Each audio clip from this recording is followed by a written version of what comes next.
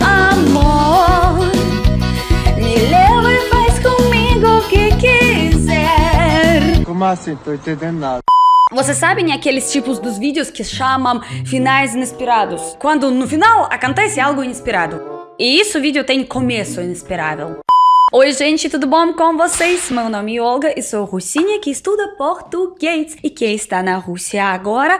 Mas eu falei para vocês que isso é só por algum tempinho, porque eu já tenho algumas notícias para vocês sobre a minha volta para o Brasil, que vai acontecer com certeza, como eu falei. Here I come.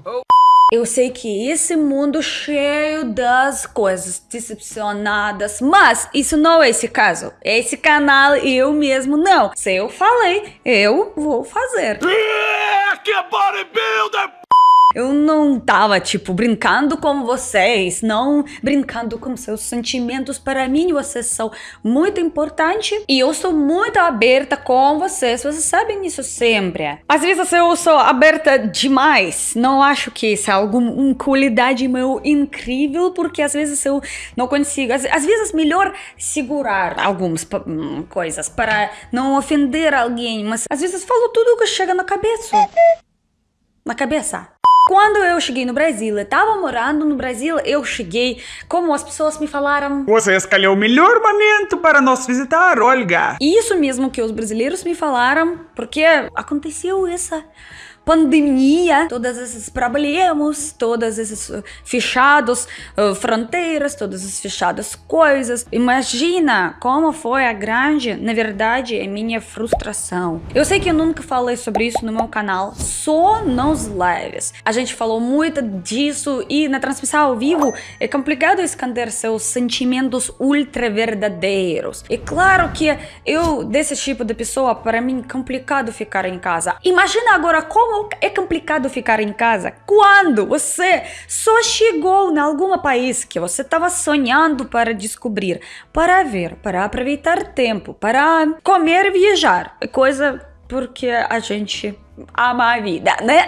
Eu não posso, tudo fechado, tudo proibido, isso não pode, isso não pode por causas óbvios, por causas sim, tem razão, coisa séria, eu entendo, mas não sempre é tão simples aceitar alguma coisa tal óbvia e lógica, né, gente, sabe? Aquela criancinha dentro de mim, aquela pequena olguinha que tava com tanta curiosidade sobre o Brasil, lugares e coisas, ela era dentro da minha cabeça super decepcionada super triste, tava sempre nervosa. Então eu não vou esconder isso. Tinha esse lado complicado, mas que aconteceu por acaso. Ninguém tem culpa disso. Agora eu já passou e já aceitei isso. E agora eu recebo muitas mensagens das vocês, queridos, que parece que as coisas estão voltando.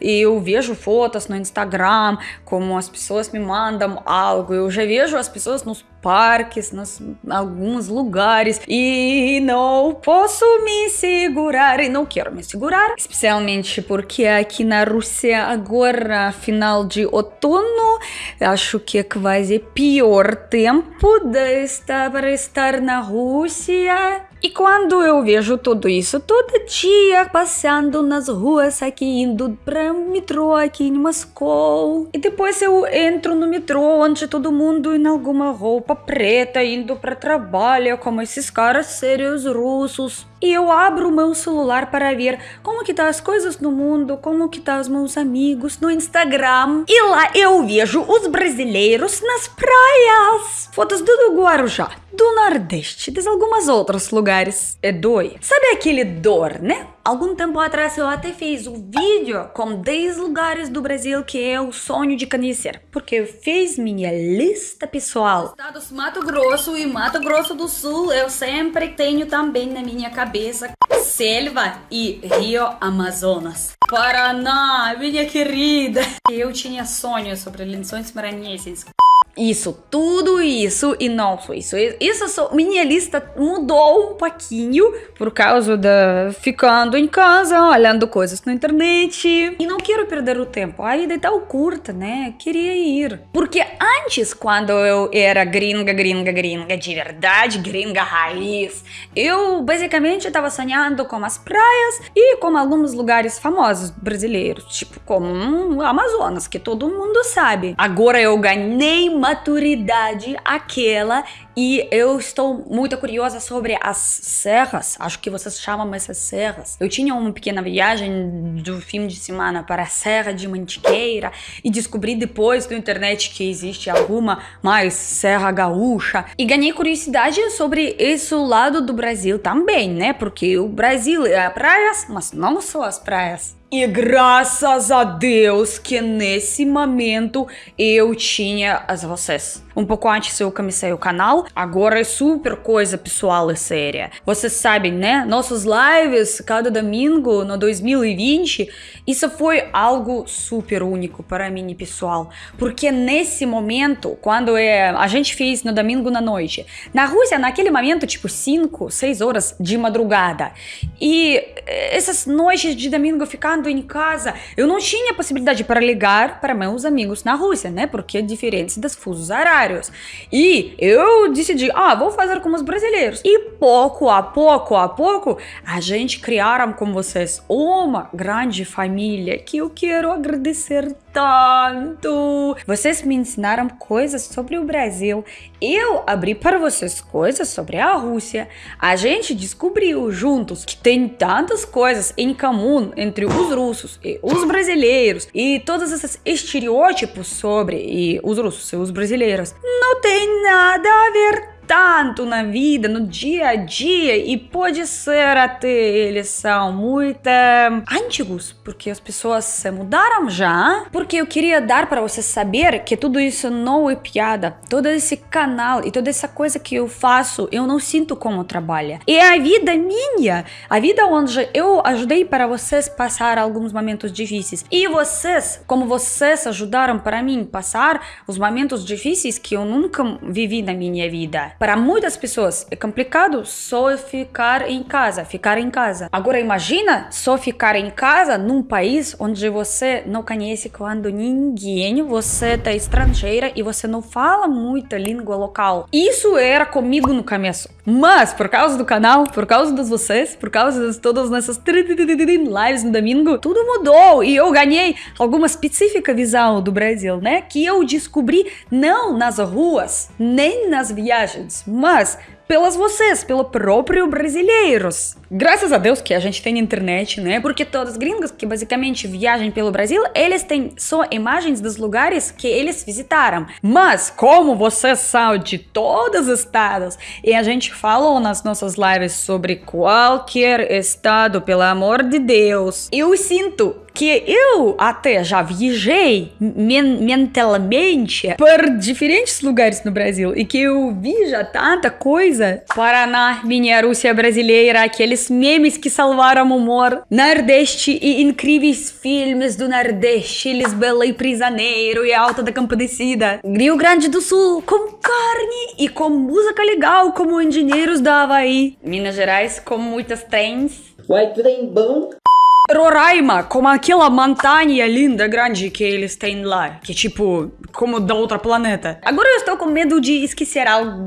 Vamos passar. E eu cheguei para uma condição super nova para mim que eu nunca tinha na minha vida. Eu me sinto agora como um cidadão dos dois países. Eu não sei como explicar isso, porque agora eu não me sinto só que tipo, ah, eu gosto de viajar, mas minha casa é lá. Agora eu realmente sinto dividida. Eu amo as coisas legais na Rússia. Eles são minhas, realmente. Eu cresci com isso.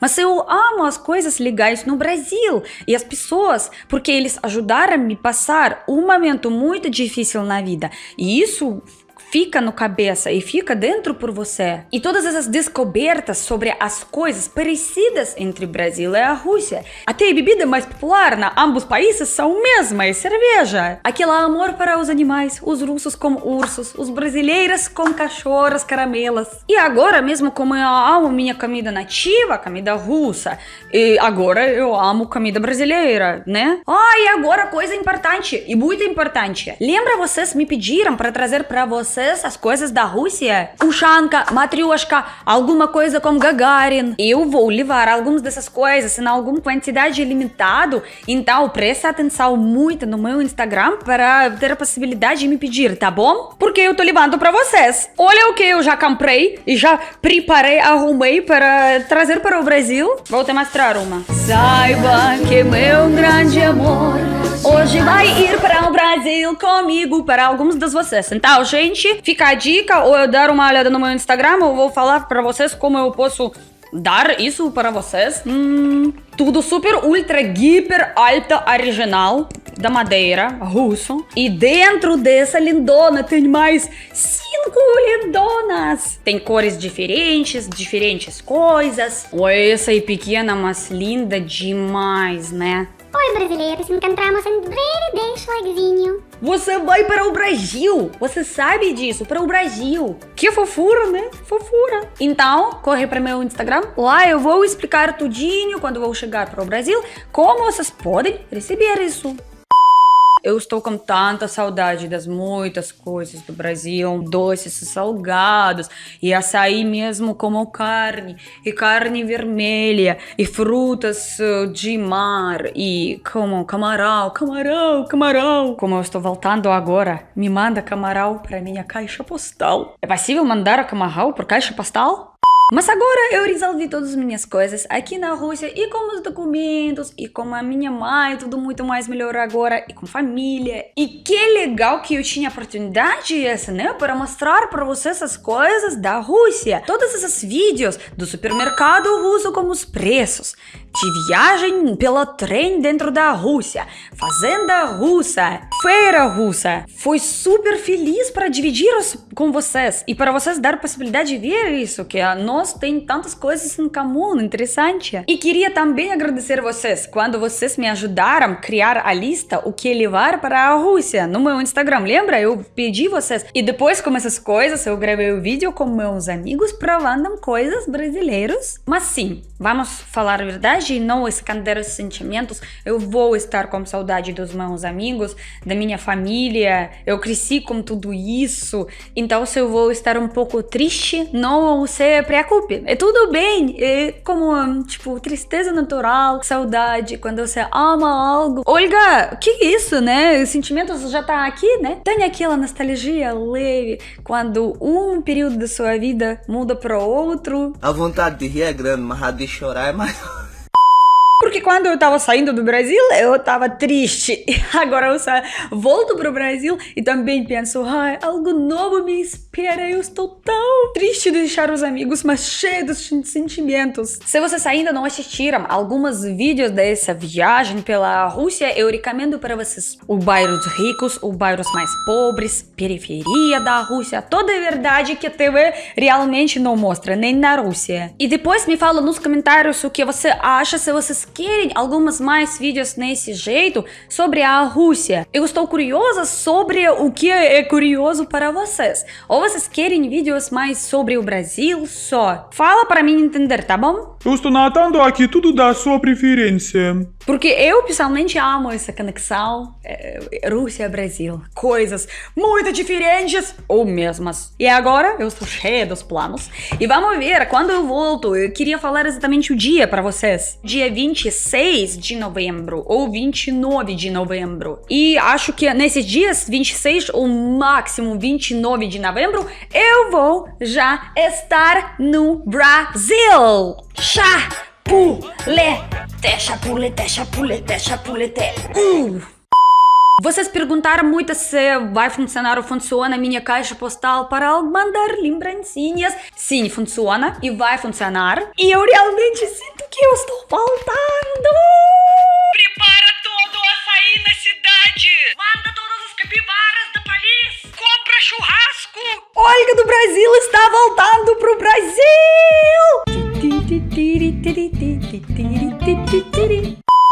Sim, acho que 26 de novembro. Marca esse dia no calendário. Então eu já preciso correr para arrumar minha mala e acho que encontramos em breve já no país tropical. Eu não lembro as letras. Nossa, eu preciso descobrir melhor essa música. Eu sou super feliz! Ah, espero que vocês também. Beijo no coração, minha gente. Até mais. Nós nos encontramos no Brasil. Tchau, tchau. Pela areia, caipirinha, água de coco, cervejinha. Pela areia, taratata.